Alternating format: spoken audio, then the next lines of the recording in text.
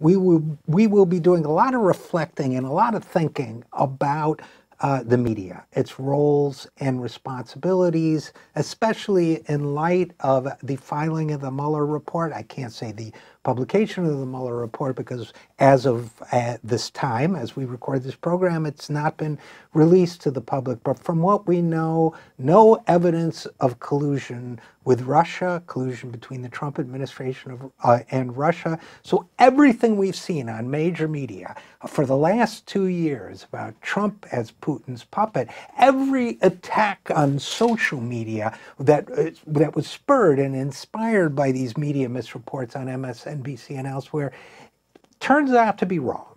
It turns out that what we have is a story of much more commonplace presidential corruption, a story that unfortunately may never get listened to now because a false narrative was spun. There's a real narrative of cor corruption, and I'm afraid now that people just won't listen when we tell it.